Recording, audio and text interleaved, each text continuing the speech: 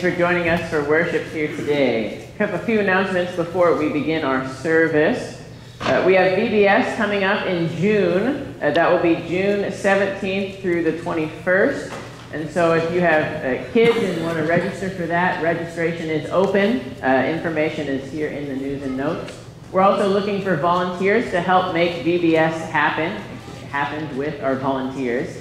And so we will need volunteers to help set up beforehand and help run events uh, during the week. And so if you are interested in volunteering or want more information about what that would entail, uh, you can contact Chrissy. Uh, her office phone number is there in the announcement there. So check that out if you're interested.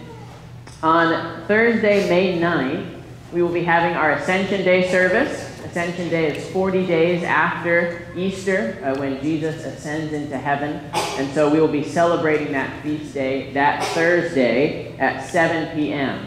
And a special part of that service will be that the chime choir that's been practicing uh, before Kids for Christ each Thursday will be performing uh, at that. They'll be uh, leading some songs and things. So uh, if you need some extra incentive to come to that feast day service, uh, it'll be neat to, to hear them. they they sound wonderful each week, so I would highly encourage you to come for that service.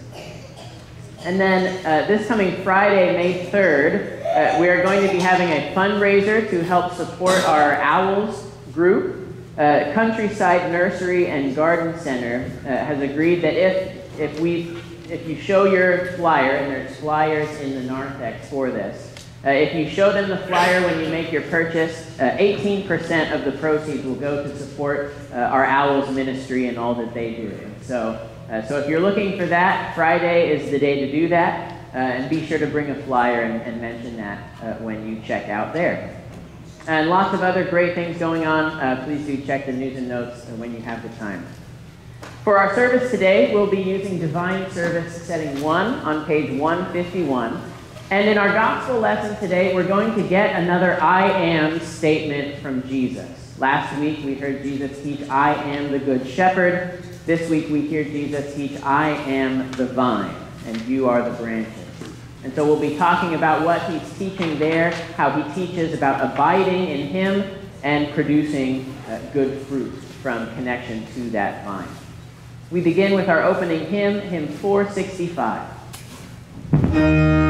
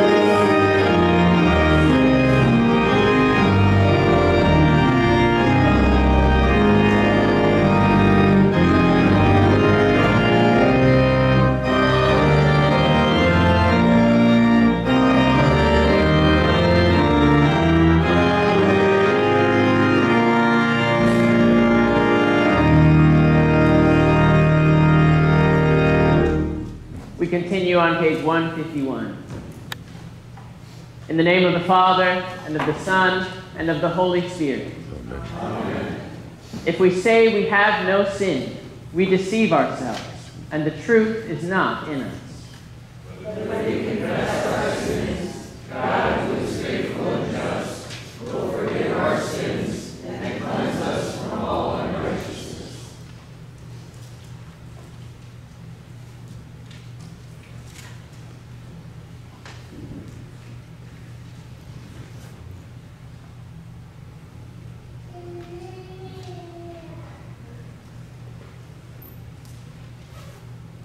Let us then confess our sins to God our Father. Most merciful God, we confess that we are by nature sinful and unclean. We have sinned against you in thought, word, and deed, by what we have done and by what we have left undone. We have not loved you with our whole heart. We have not loved our neighbors as ourselves. We justly deserve your present and eternal punishment. For the sake of your Son, Jesus Christ, have mercy on us. Forgive us, renew us, and lead us, so that we may delight in your will and walk in your ways, to the glory of your holy name. Amen. Almighty God, in his mercy, has given his Son to die for you, and for his sake forgives you all of your sins. As a called and ordained servant of Christ, and by his authority, I forgive you all of your sins, in the name of the Father, and of the Son, and of the Holy Spirit.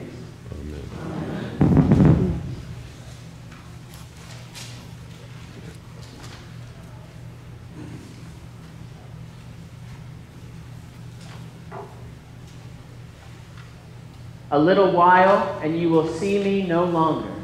And again a little while, and you will see me. I will extol you, my God and King, and bless your name forever and ever. Every day I will bless you, and praise your name forever and ever. The Lord is gracious and merciful, slow to anger, and abounding in steadfast love. All your works shall give thanks to you, O Lord, and all your saints shall bless you. My mouth will speak the praise of the Lord, and let all flesh bless his holy name forever and ever. Glory be to the Father, and to the Son, and to the Holy Spirit, as it was in the beginning, is now, and will be forever. Amen. A little while, and you will see me no longer. And again a little while, and you will see me.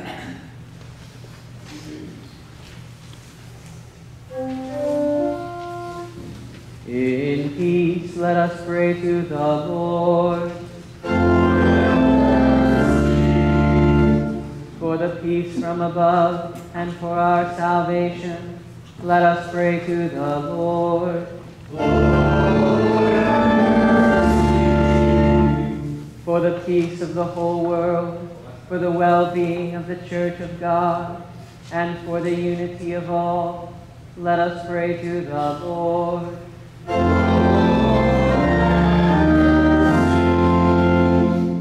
For this holy house, and for all who offer here their worship and praise, let us pray to the Lord.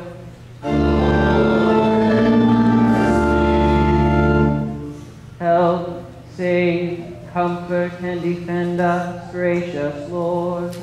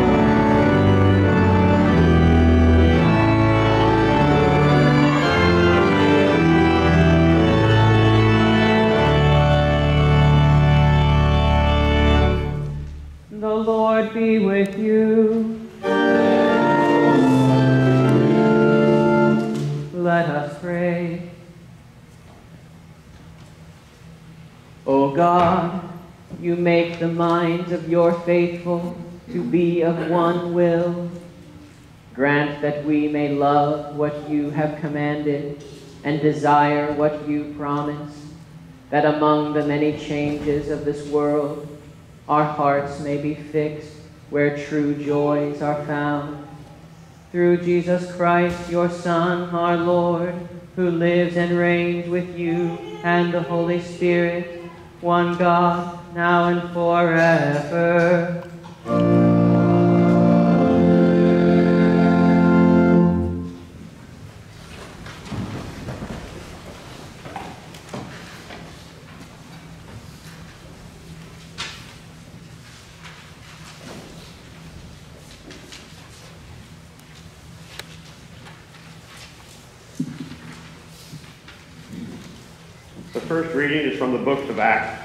Chapter 8, verses 26 through 40.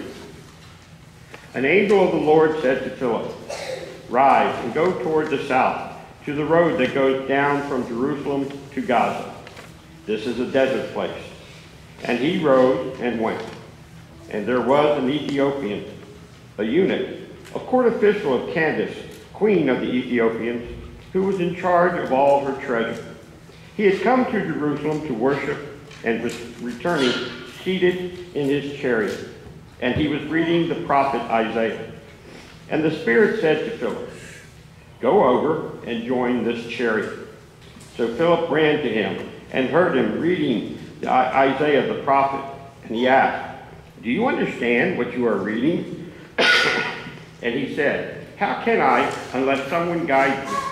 And he invited Philip to come up and sit with him.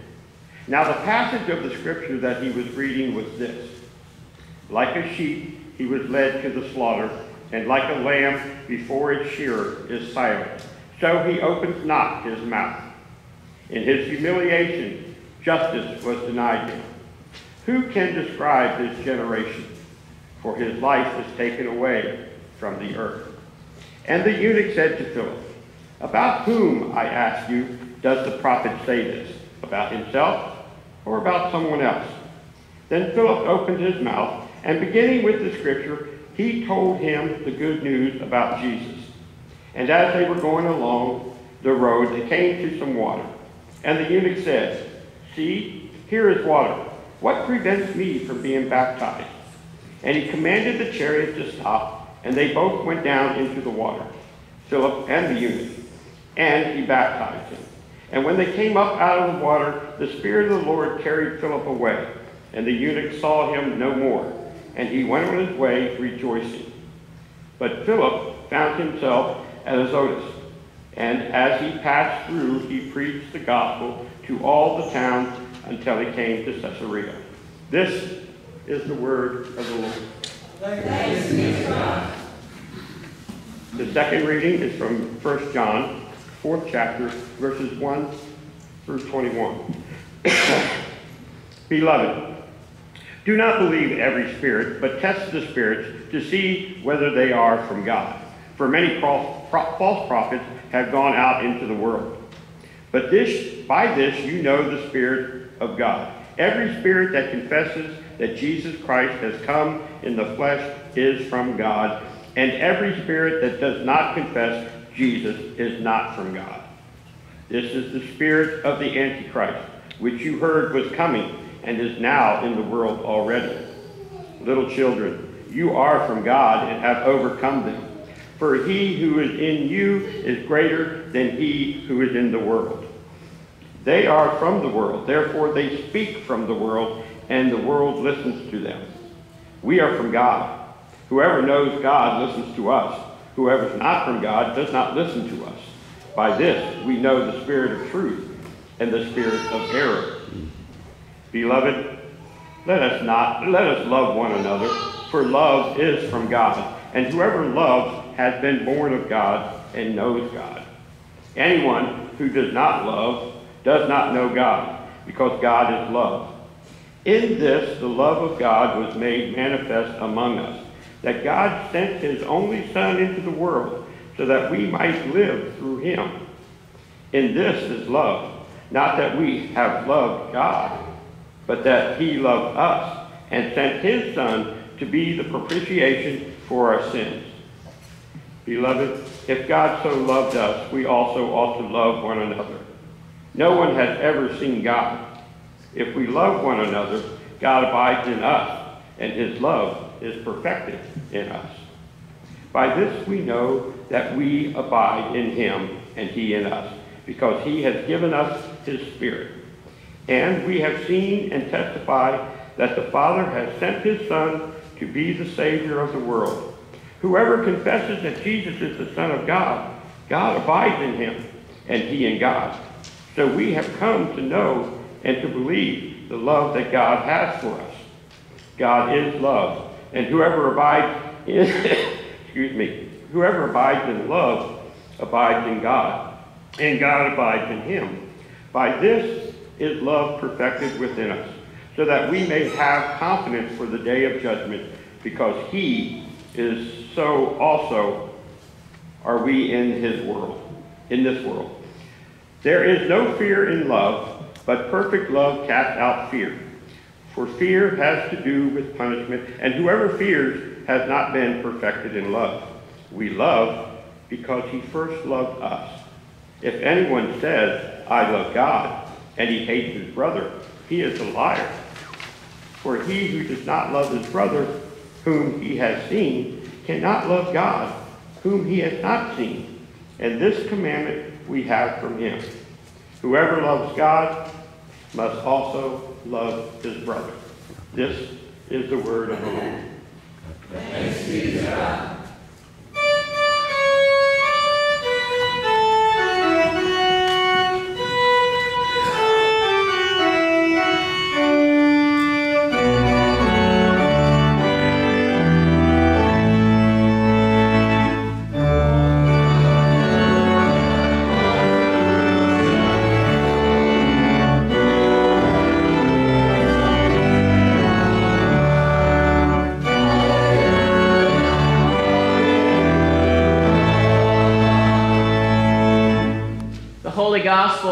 According to St. John, the 15th chapter.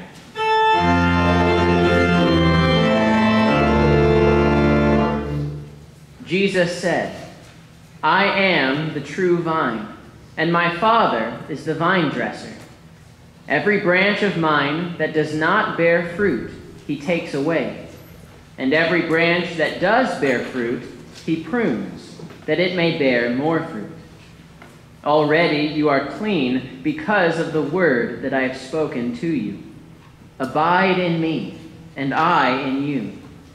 As the branch cannot bear fruit by itself unless it abides in the vine, neither can you unless you abide in me. I am the vine, you are the branches. Whoever abides in me, and I in him, he it is that bears much fruit. For apart from me, you can do nothing.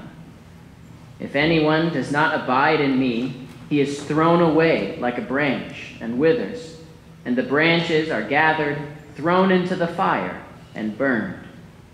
If you abide in me, and my words abide in you, ask whatever you wish, and it will be done for you. By this my Father is glorified, that you bear much fruit and so prove to be my disciples. This is the gospel of the Lord.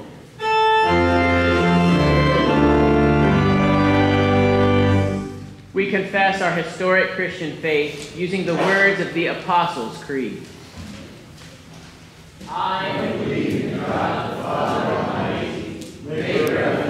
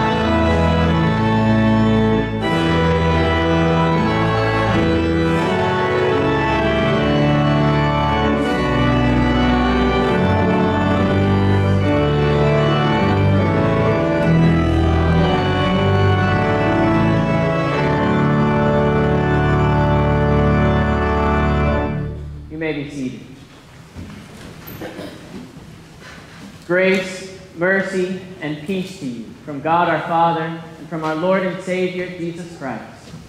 Amen. Last week we heard the extremely comforting words of Jesus and also those of Psalm 23. From Jesus, we heard Jesus say, I am the good shepherd. And the good shepherd lays down his life for you, the sheep. And from Psalm 23, we hear that confession of King David The Lord is my shepherd, I shall not want. And these passages reflect a great reality of the Christian life. That no matter what you go through, no matter the valleys that you walk through, no matter the wolves that come to seek to devour your soul and your spirit, Christ is with you. Christ protects you, and He alone saves you. But that is not the only reality at play in the Christian life. Last week and this week deliver two truths that show the Christian life. Truth one was last week that Jesus is your good shepherd who loves you and dies for you. And this week we get truth number two that being connected into Christ, you are to love others. We hear this from Jesus in our gospel from John 15. Hear his words again. I am the true vine, and my Father is the vine dresser. Every branch of mine that does not bear fruit, he takes away. And every branch that does bear fruit, he prunes, that it may bear more fruit. Jesus teaches here that the expectation for the Christian for that you will bear fruit. Now, when he talks about bearing fruit, he's not talking about apples growing from your limbs, but he is speaking of good works. The second table of the law, loving your neighbor as yourself. St. James, in his epistle, says this about good works and its connection with faith in the second chapter. He says, What good is it, my brothers, if someone says he has faith but does not have works? Can that faith save him? Faith by itself, if it does not have works, is dead. Now, here, St. James is not preaching works righteousness or that you're saved by your works, far from it.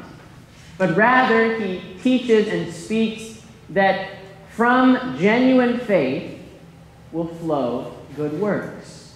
Faith naturally produces its fruit.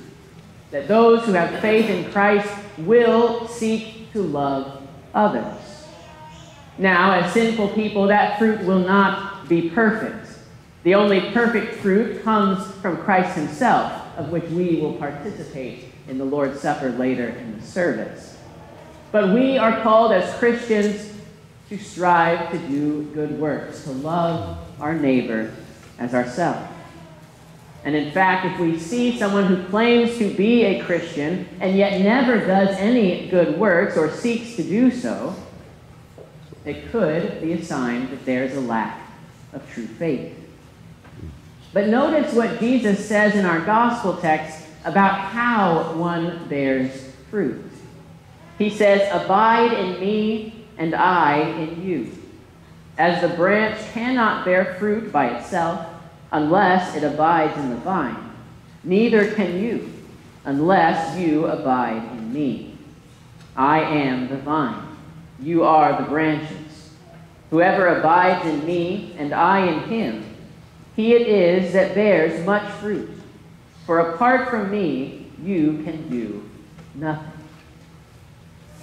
You see, Jesus says that it is only possible to bear fruit, to bear good works, if you abide in Him, in the vine. And this is exactly why we need both of those truths mentioned earlier that Jesus is your good shepherd who lays his life down for you out of love for you, and that connected to him, you are to love your neighbor. For if you take just one of those truths and leave the other, you are left with an incomplete life. If you just take truth number one, that you believe in Jesus and you love him, and yet you don't seek to love your neighbor or do anything good for others, then do you really know God? Do you really believe? St. John in our epistle and St. James in his epistle would argue no. And or truth two. If you are doing good works and you're, you're caring for those around you, and yet you are not abiding in Christ and not connected into that vine, And Jesus says your works are worthless. You are as if a branch that is cut off and thrown into the fire and burned for eternity. And so you must have both of these truths belief in Christ, knowing that He loves you and cares for you and dies for you, and also from that love, showing love to your neighbor. This is the Christian life. It is one of being loved and showing love. We hear this in our epistle from 1 John, where he writes, Beloved, let us love one another, for love is from God. And whoever loves has been born of God and knows God. Anyone who does not love does not know God, because God is love. In this, the love of God was made manifest among us, that God sent his only Son into the world so that we might live through him. In this is love, not that we have loved God, but that he loved us and sent his Son to be the propitiation for our sins. Beloved, if God so loved us, we also ought to love one another. And he gives a beautiful summary of this just a few verses later when he says, We love because he first loved us. Love flows from God to you, to the neighbor. God calls you to love, for he has shown you what love is. He is love incarnate. That he would take your sins and go to the cross and die for you, that you would have life in him. That you then would from that love, that love that has saved you from sin and death, would then go and love your neighbor.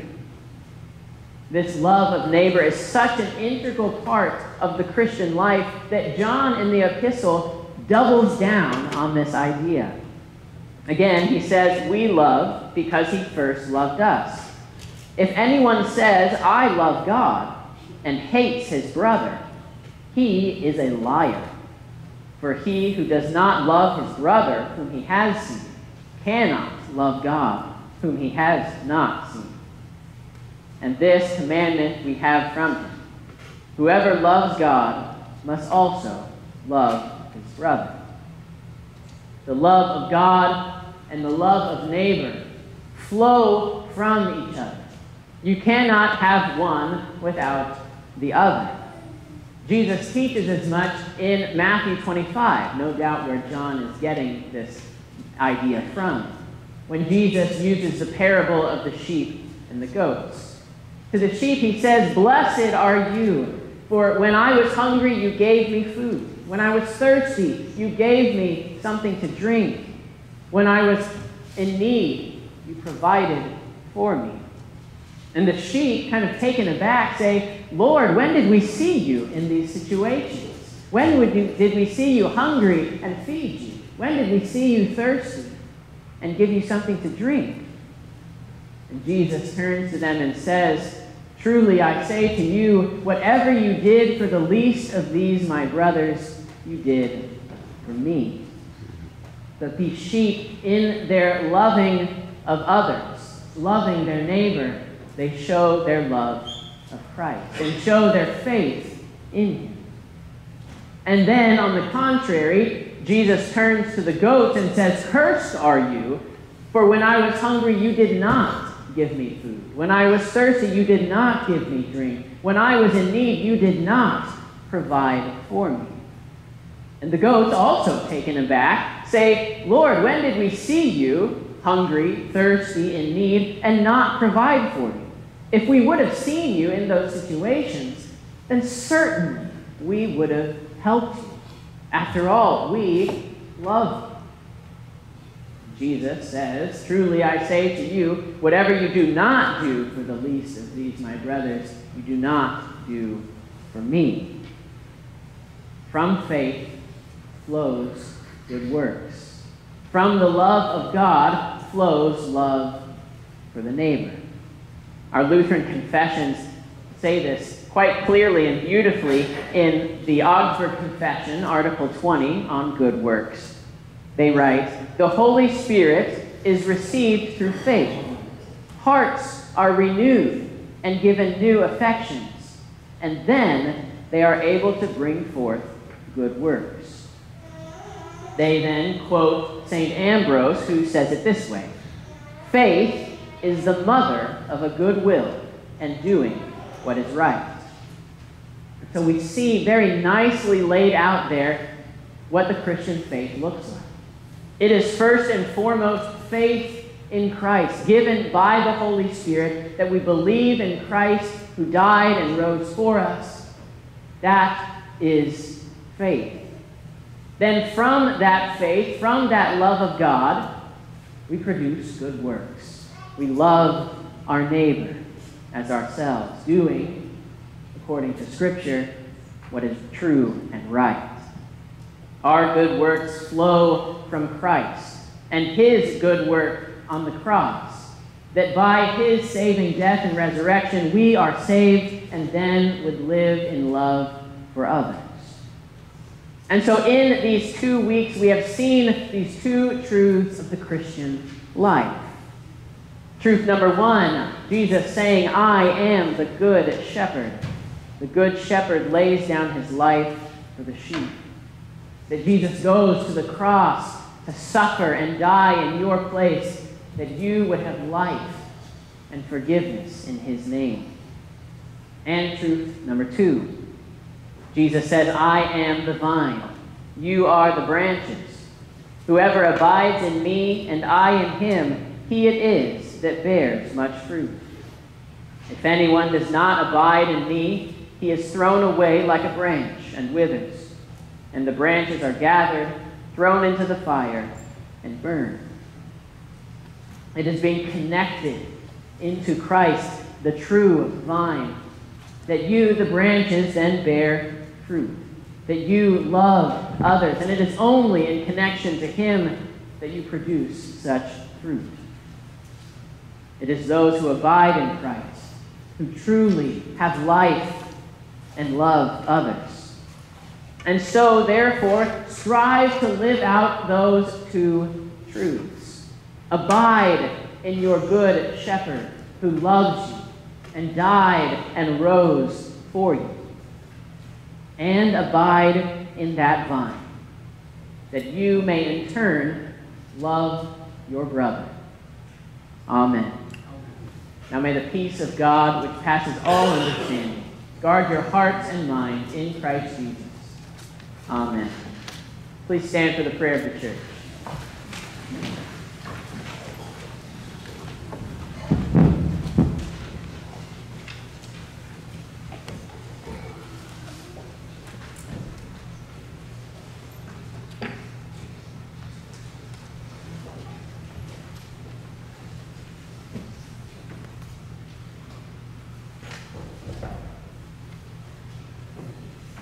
Almighty God, we give thanks for all your goodness and bless you for the love that sustains us from day to day.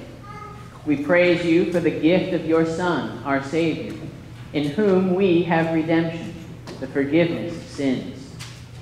We thank you for the Holy Spirit, the Comforter, for your holy church, for the means of grace, for the lives of all faithful and just people and for the hope of the life to come. Help us to treasure in our hearts all that you have done for us, and enable us to show our thankfulness in lives that are wholly given to your service. Lord, in your mercy, Hear our prayer. save and defend your whole church, purchased with the precious blood of Christ. Strengthen your faithful people through the word and the holy sacraments, making them perfect in love and in all good works, and establishing in them the faith once delivered to the saints. Lord, in your mercy, grant your wisdom and heavenly grace to all pastors and to those who hold office in your church, that by their devoted service faith may abound and your kingdom increase. Lord, in your mercy, Hear our prayer. send the light of your truth into all the earth. Raise up faithful servants of Christ to advance the gospel both at home and in distant lands. Lord, in your mercy, Hear our prayer. In your mercy, strengthen newly established congregations and support them in challenging times. Make them steadfast, abounding in the work of the Lord, and let their faith and zeal for the gospel refresh and renew the witness of your people everywhere. Lord, in your mercy, Hear our prayer. Preserve our nation in justice and honor, that we may lead a peaceable life with integrity. Grant health and favor to all who bear office in our land, especially the President and Congress of the United States, the Governor and Legislature of this state, and to all those who make, administer, and judge our laws. Help them to serve this people according to your holy will. Lord, in your mercy, Hear our prayer. take from us all hatred and prejudice. Give us the spirit of love and order our days in your peace. Prosper the labor of those who work to bring peace and justice to the nations of the world, that mutual understanding and common endeavor may be increased among all peoples. Lord, in your mercy, Hear our prayer. Bless the schools of the church and all colleges, universities, and centers of research, and those who teach and work in them. Grant your wisdom in such measure that people may serve you honorably in church and state, and that our common life may be conformed to the ways of your truth. Lord, in your mercy, Hear our prayer. Sanctify our homes with your presence and bless them with joy. Keep our children in the covenant of their baptism and enable their parents to bring them up in lives of faith and devotion. Unite the members of all families in a spirit of affection and service, that they may show your praise in our land and in all the world. Lord, in your mercy, Hear our prayer. let your blessing remain upon the seed time and harvest, the commerce and industry, the leisure and rest, the arts and culture of our people. Take under your special protection those whose work is difficult or dangerous, and be with all who put their hands to any useful task. Give them the just rewards for their labor, and the knowledge that their work is a blessing in your sight. Lord, in your mercy, Hear our prayer. by your word and Holy Spirit, comfort all who are in sorrow or need, sickness or adversity. We especially pray this day for Joan, Pat, Charles, Steve, Brad, Audrey, Roy, the family of John Wilbanks, Les, Judy, Amelia, Cash, Maynard, Pete, Tom, Mike, Marv, George, Pete, Edith, Harvey, Delaney, Drew, and all of our shut-ins. Be with those who suffer persecution for the faith. Have mercy on those to whom death draws near. Bring consolation to those in sorrow, and grant to all a measure of your love, taking them into your tender care Lord, in your mercy, Hear our prayer. all these things and whatever else you know that we need, grant us, Father, for the sake of him who died and rose again, and now lives and reigns with you and the Holy Spirit, one God, now and forever. Amen. You may be seated, seated for the offering.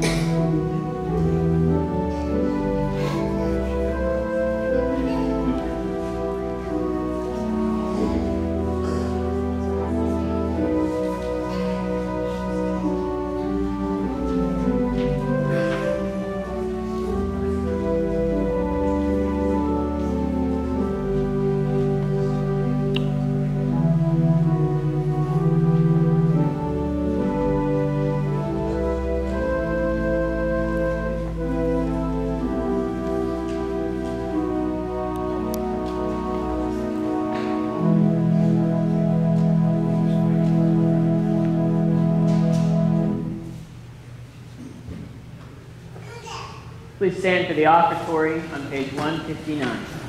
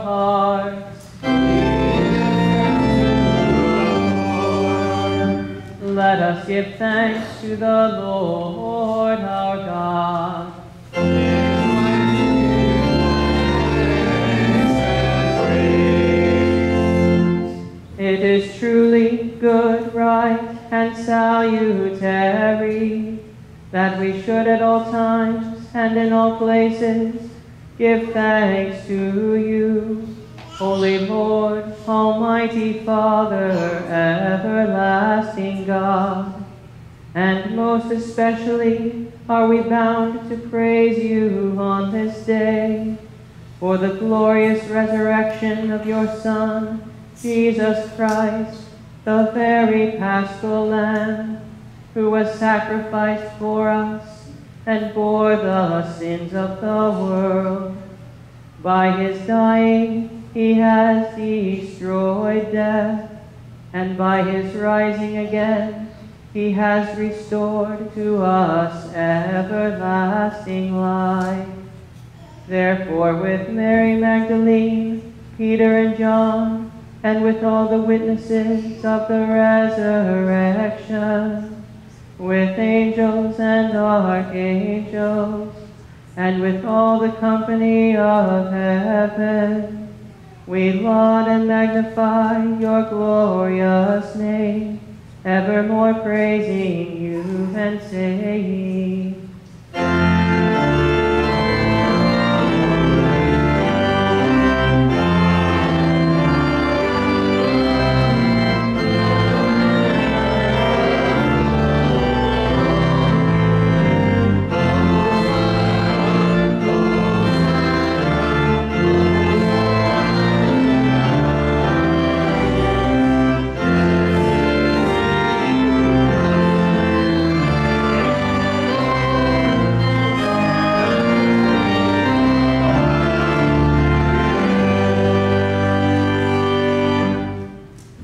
Blessed are you, Lord of heaven and earth, for you have had mercy on those whom you created, and sent your only begotten Son into our flesh to bear our sin and be our Savior. With repentant joy, we receive the salvation accomplished for us by the all availing sacrifice of his body and his blood on the cross. Gathered in the name and the remembrance of Jesus, we beg you, O Lord, to forgive, renew, and strengthen us with your word and spirit. Grant us faithfully to eat his body and drink his blood, as he bids us do in his own testament. Gather us together, we pray, from the ends of the earth, to celebrate with all the faithful the marriage feast of the Lamb in his kingdom, which has no end. Graciously receive our prayers deliver, and preserve us. To you alone, O Father, be all glory, honor, and worship, with the Son and the Holy Spirit, one God, now and forever. Amen. Lord, remember us in your kingdom and teach us to pray. Our Father, who art in heaven, hallowed be thy name. Thy kingdom come, thy will be done, on earth as it is in heaven. Give us this day our daily bread, and forgive us our trespasses, as we forgive those who trespass against us. And lead us not into temptation, but deliver us from evil. For thine is the kingdom, and the power, and the glory, forever and ever. Amen. Our Lord Jesus Christ, on the night when he was betrayed, took bread, and when he had given thanks, he broke it and gave it to the disciples and said, Take, eat, this is my body, which is given for you. This do in remembrance of me.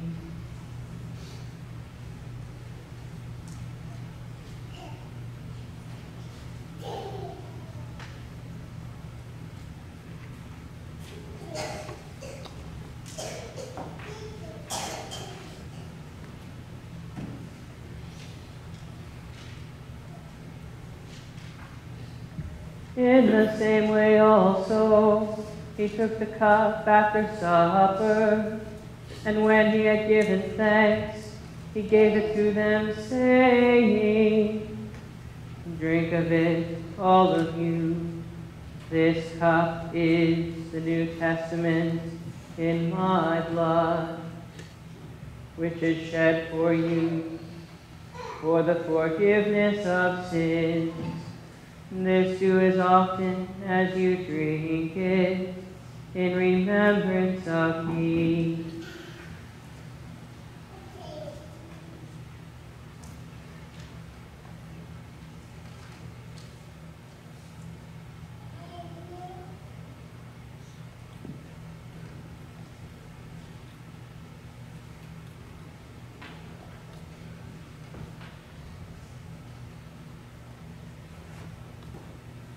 The peace of the Lord be with you always.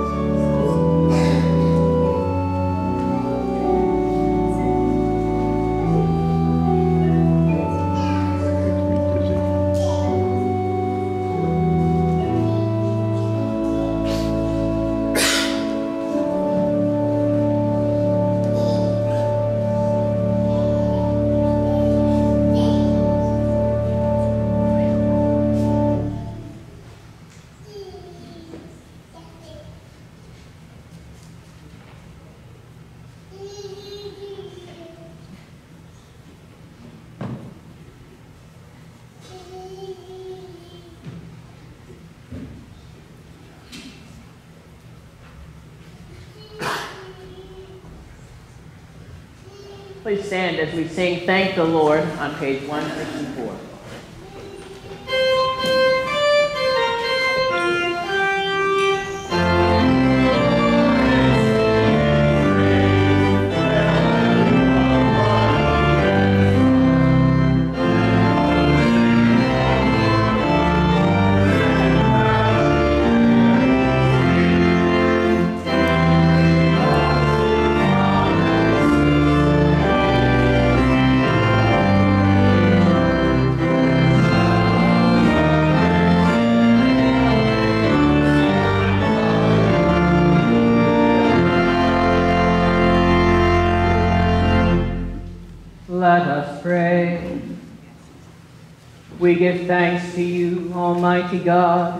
That you have refreshed us through this salutary gift.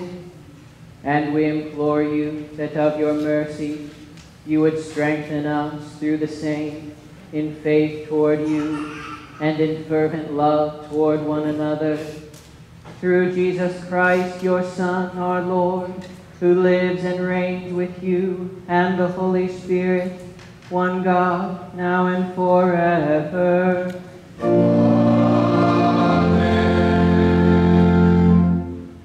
The Lord bless you and keep you. The Lord make his face shine upon you and be gracious unto you. The Lord look upon you with favor and give you peace.